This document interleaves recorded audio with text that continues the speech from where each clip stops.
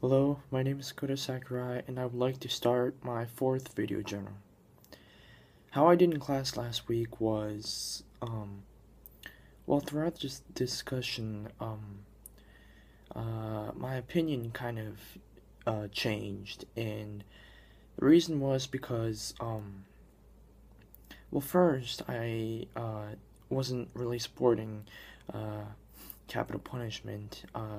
Well, having capital punishment in uh, American states and in Japan because um, I thought that life imprisonment was uh, just as heavy as capital punishment. And uh, the reason was because, well, I thought like in prison, uh, uh, well, you don't get to breathe outside air, and uh, well, you're in a small room that's really dim and the only thing you can do is eat and sleep. And uh, you're going to have to uh, repeat the same uh, kind of uh, life the same kind of life where you just do nothing throughout the day for you know 40 to for the rest of your life. And you uh, well you know that you're not going to go uh, you're not going to be able to get out from the prison. And so I thought that uh, life imprisonment was uh, kind of torture, and maybe uh, some people might, you know, start to uh, start to want to, uh, you know, die by themselves, like uh, like capital punishment, and so. well, I thought that life imprisonment was just as heavy as capital punishment, but after hearing stories from our group and from the professor, I, I found out that, well, in prison, uh, not only do you get to uh, breathe the outside air go out and, uh, you know, play basketball and all those stuff, but you uh, get to uh, be educated, like, uh, uh, like the professor said, the debate team and the from the prisoners uh, be the debate team in the Harvard universities, and uh, that's just uh, an incredible thing. And I didn't know that imprisonment, uh, that prisoners get to be educated. And so my opinion kind of changed throughout the discussion, and I kind of thought that, um, well, uh, a capital punishment might uh, be way heavier than life imprisonment.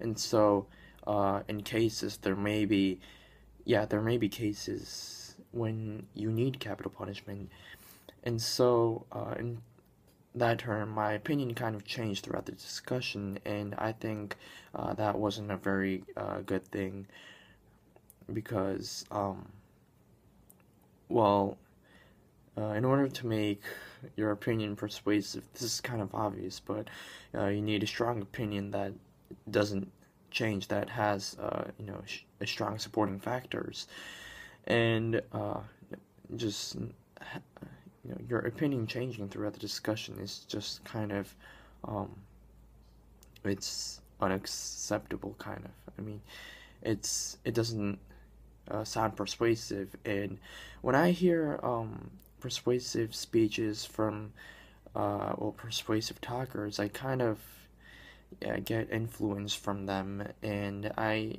just really uh, can't stick with the same opinion throughout the discussion. And so, uh, during the next uh, class, I think I would like to try to um, uh, have a strong opinion that has strong supporting factors that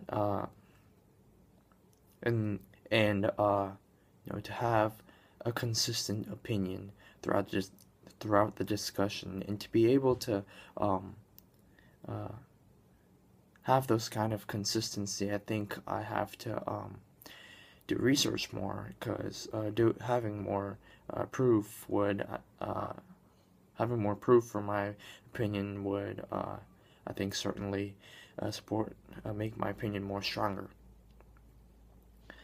And the play I chose was um well uh I like Star Wars and um this is one of the uh really uh, famous scenes from Star Wars. It's uh, in The Revenge of the Sith, uh, number three, episode three, where um, uh, Padme and Anakin talk in uh, this planet called Mustafar before they uh, before Obi Wan and Anakin starts uh, fighting.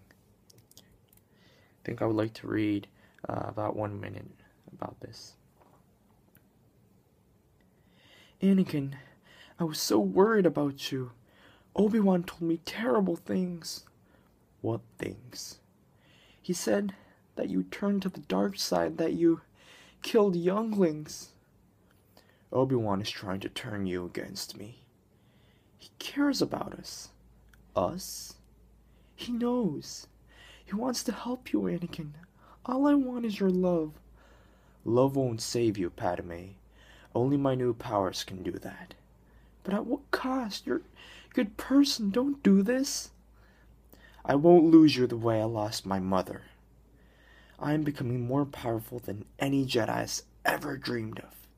And I'm doing it just for you, to protect you. Come away with me. Help me raise our child far away. Leave everything else behind while we still can. No. Don't you see? We don't have to run away anymore. We no longer have to hide our love for each other. I am more powerful than the Chancellor. I I can overthrow him. And together you and I can rule the galaxy. We can make things the way we want them to be. I don't believe what I'm hearing. Obi-Wan was right. You've changed. You have turned to the dark side. You're not Anakin anymore. Uh, yeah, um, that was as emotional as I could get. Uh, thank you for listening to my video journal.